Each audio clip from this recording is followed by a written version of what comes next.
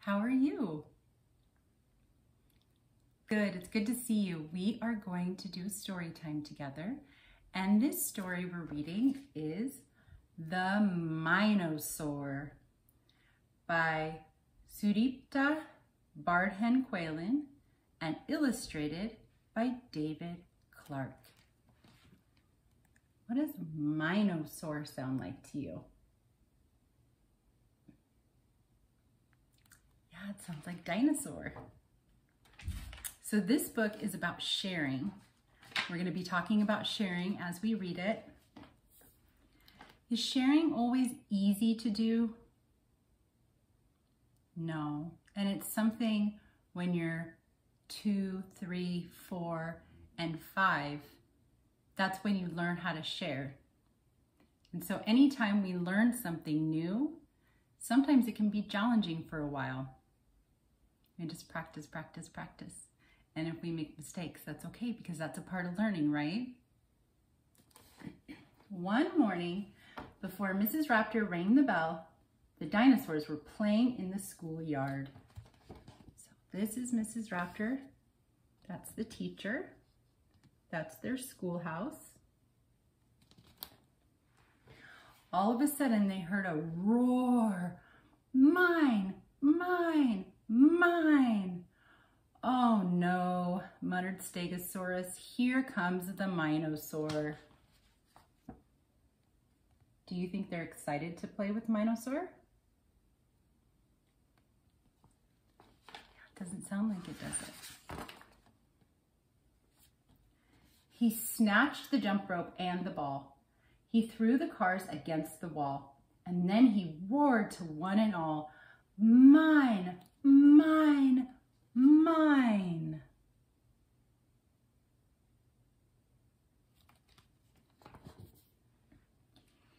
Iguanodon said, that's not fair. Triceratops said, you should share.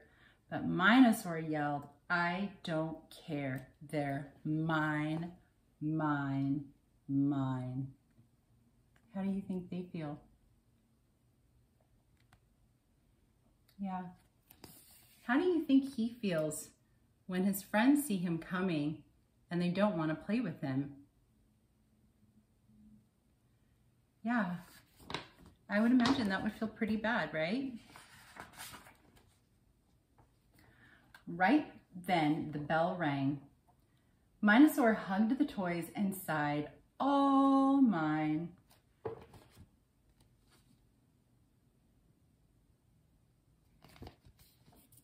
You're late, Mrs. Raptor said when Mine-O-Saur finally came to class. Now you'll have to paint your project during snack time. Does teacher, does his teacher seem to be happy right now? Yeah. We'll see. But the time, by the time Mine-O-Saur finished, Snack time was in full swing.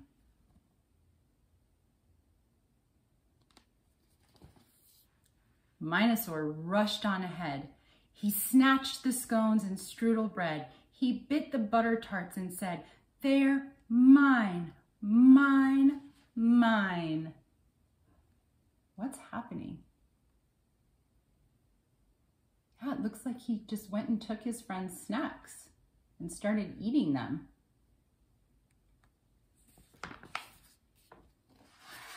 Have you ever had that happen where you're eating somebody, some, you're eating something and somebody comes up and just takes it and eats it? Yeah, how would that make you feel? Yeah, I would feel frustrated, which is a lot like anger. Frustrated. That's our food, yelled Apatosaur. No, it's not, cried Mine-O-Saur. And soon there was a tug of war, and he wailed, mine.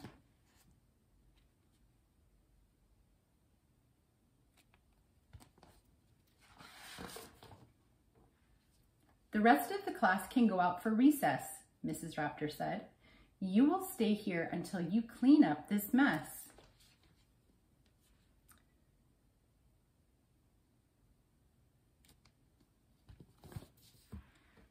Mine-O-Saur scowled a bit and bit into a scone.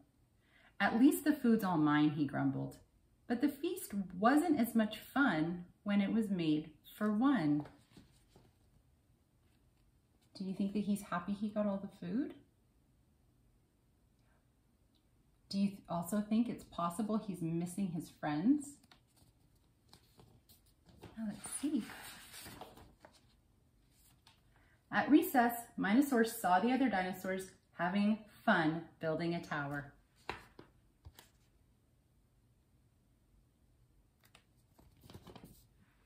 His arms were flailing all around. The tower tumbled to the ground. He grabbed a bunch of blocks and frowned. They're mine, mine, mine. Have you ever been playing with blocks or Legos or Magna-Tiles and then someone comes up and destroys what you've built? Yeah. Did you, did you like that when that happened? No. No. Most people don't. How could you? yelled Iguana Iguanodon. It's wrecked now, said P. Mine-O-Saur said, oh, come on. These blocks are mine.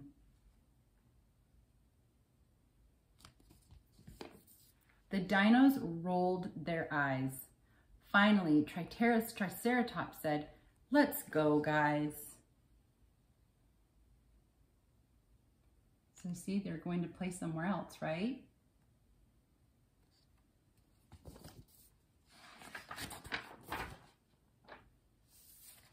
I don't need them anyway, said Mine-O-Saur. I'll build a better tower by myself. Look at this, he shouted, the biggest tower ever but there was no dino around to hear. He built a big tower and he's so proud of himself, but where are his friends? Yeah, they went to play somewhere else. And do you think that his friends didn't want to play with him because they don't like him? Or do you think it's possible they didn't want to play with him because he wasn't sharing it all with them? Yeah. At the other end of the yard, the rest of the dinos were laughing and playing. They didn't seem to miss the Mine-O-Saur at all.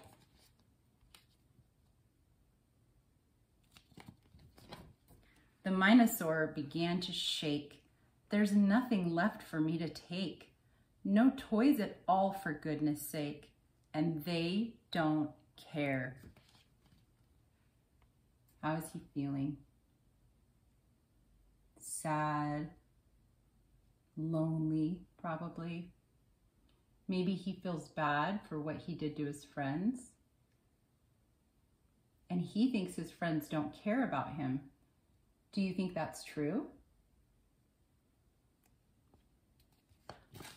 Yeah, I think it's more likely that his friends couldn't play with him if he absolutely wouldn't share. But like I said in the beginning, when we're learning, we make mistakes and it's important to understand when you should give someone another chance. Mine-O-Saur wanted to laugh and play too, so he gathered up all the stuff that was his and headed towards the dinos.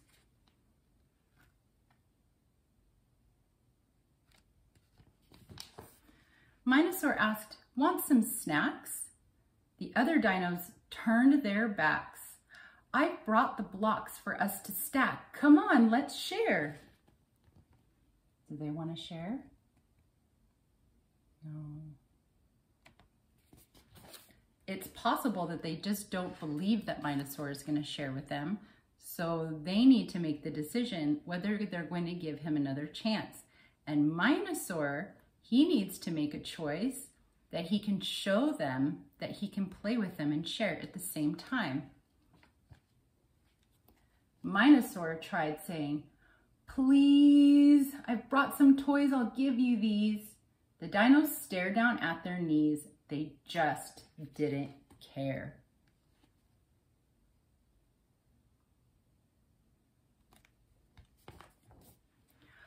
Okay then, said Mine-O-Saur. He put all his stuff down. You guys should play. How's he feeling? Yeah. Super sad. The dinos looked at each other. Isn't this your stuff? asked Stegosaurus. Mine-O-Saur shook his head. I shouldn't have taken it.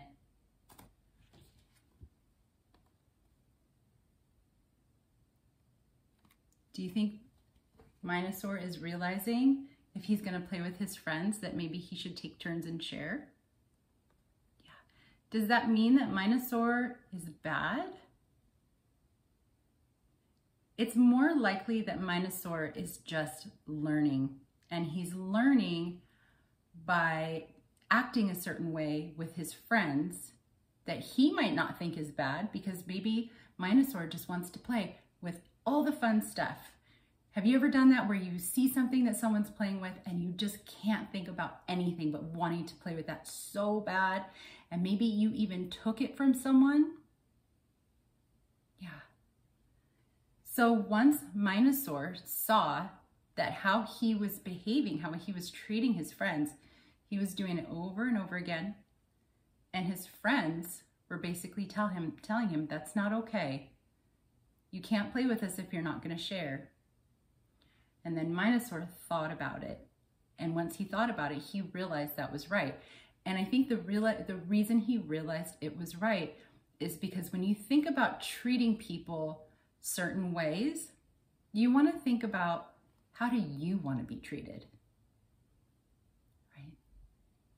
So I have two rules in my classroom when we go back on site. We'll talk about them every day. And the two rules are be kind and be safe. So those would have been two good rules for, for Mine-O-Saur. Mine-O-Saur was still walking when, the, when he heard the dinos shout, wait!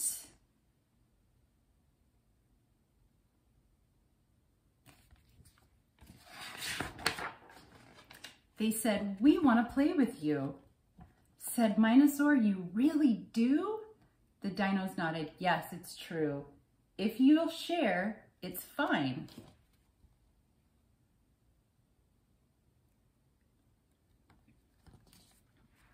Mine-O-Saur yelled, it's a deal. I have the thing I want, he squealed. You don't know how this makes me feel. You're my friends, all mine.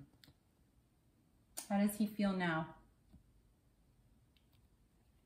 He looks like he feels happy.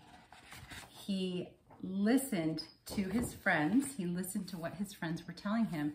And then he probably thought, well, how do I want to be treated? If I'm playing with my friends, do I want them to take the toys away from me every time I play with something or destroy my building that I'm building or eat my food? Right? No, no, Nobody would like that. Nobody would enjoy that. So then he thought about maybe how he would want to be treated. And then he came back to his friends and let them know that he was going to behave differently. And it doesn't mean that he's necessarily a bad person at all. It just means that as he's learning and growing, he made a mistake because that's what happens when we learn and grow. And then he was able to say, I'm going to share with you guys, and his friends accepted him. This page says, mine, mine, mine. The end. So do you think Mine-O-Saur cared more about his things, his toys, his food, all of his things? Or do you think he cared more about his friends? In the beginning of the story, it was hard to tell. It seemed like he really just wanted to play with everything he wanted to play with right then and there, regardless of who had it. But then as the story goes along, we learn that he values his friends very much. He cares about his friends much more than he cared about his toys. And that's what caused him to try and change. I hope you guys enjoyed this story. I'll see you later. Bye.